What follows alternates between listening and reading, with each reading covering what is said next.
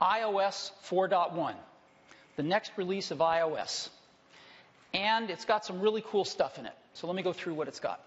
First of all, a lot of bugs have been fixed proximity sensor bugs, Bluetooth bugs, iPhone 3G performance bugs, all the bugs that we get mails on. Uh, we think we've nailed a lot of them, and we think you're going to be pretty happy with it. Secondly, we've added a really cool thing called HDR photos, high dynamic range photos, and I'll explain that in a minute. But that's going to be standard in iOS 4.1. The ability to upload HD video over Wi Fi to YouTube and other places built into 4.1. TV show rentals in addition to purchases. And Game Center is now making its debut for end users. And we think this is going to be a pretty big deal, too. So let's start off with high dynamic range photos. What are high dynamic range photos? Well, when we take a photo, a lot of times we get it where it's blown out with light. You see it washed out with this bright light coming in over the building there. Well, when you turn on HDR just by tapping on that button there, when you take a photo, it actually takes three photos in rapid succession. It takes one normal exposure, what it thinks is the appropriate exposure, and then one that's underexposed and one that's overexposed. And it combines these three with some pretty sophisticated algorithms to produce an HDR photo. And it's pretty amazing. And we keep both the normal photo and the HDR photo in the Photos app. So you can just compare the two of them and use the one you like. But it's really remarkable in some photos. And let me show you a few other examples. Here's another one where you can see how HDR has pulled out the sky and pulled out the detail in the foreground. Here's another one where you can see it's trying to pull out the shadow in the background. You can see her legs pulling them out of the shadows as well. Take a look at this one. You can't even see the pavement, the one on the left. And look at how it's pulled all that out from the one on the right. And one final one again, you can see the sky and a lot more detail in the background using HDR. So for some photos, it's, it's pretty great. And uh, it's built into iOS 4.1. Another thing we've built in is Game Center. And Game Center is both APIs for developers to build into their apps, and it's an app called Game Center right on the phone. Game Center is all about multiplayer games. And it allows you to challenge your friends to multiplayer games, and they can challenge you. And if you don't have any friends, it'll auto match you with people. so it's pretty great in that way, too. And you can compare scores and you can discover new games your friends are playing. So it's pretty nice. So, as an example, uh, this is Thor, and Thor can take a look at uh, the games that they've played with other people.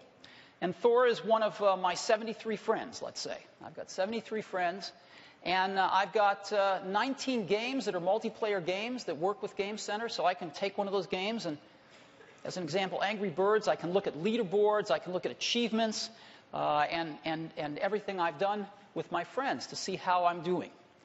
So here I'm inviting uh, two friends, Appleseed and Thor, and I'm going to get matched up with Game Center with two other players of roughly equal ability, all automatically. Or if Thor wants to invite me to play a game, this is what it looks like. Right? Thor's invited me, I can decline or accept. So that's Game Center. Now, again, you've got to see what this can do. It's pretty exciting.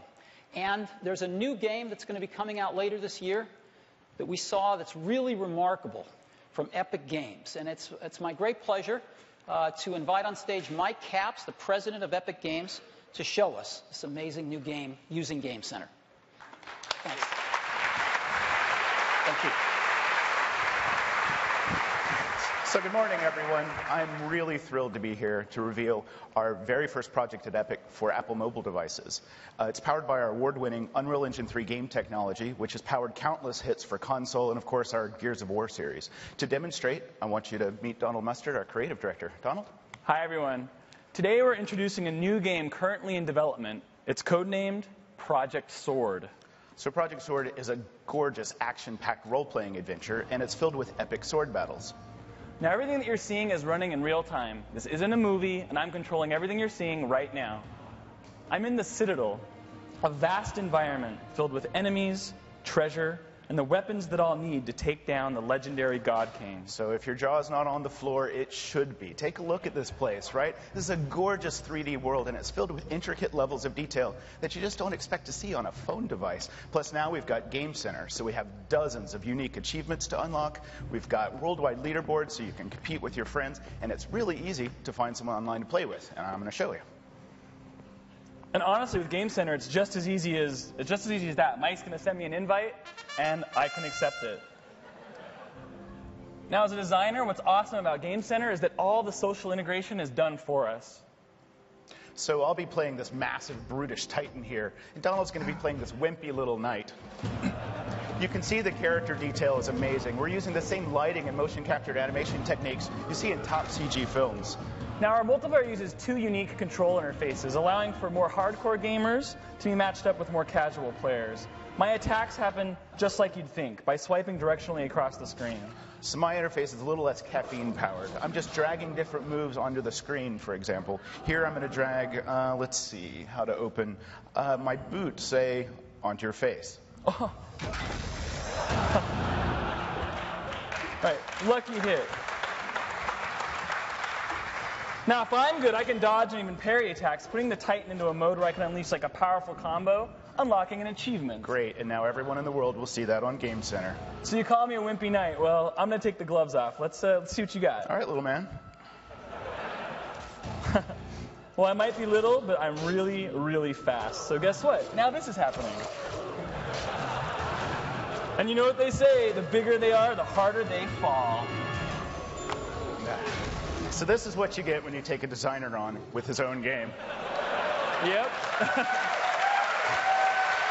Thanks.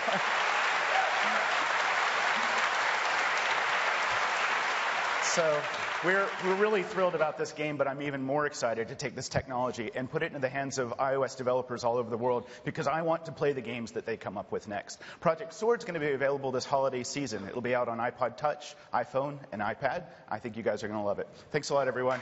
Thank you. Thanks, sir. Excellent. It's on a phone. That's pretty remarkable. Well, that's a little peek into Game Center. So those are just uh, two of the many things in iOS 4.1, and it's going to be available next week.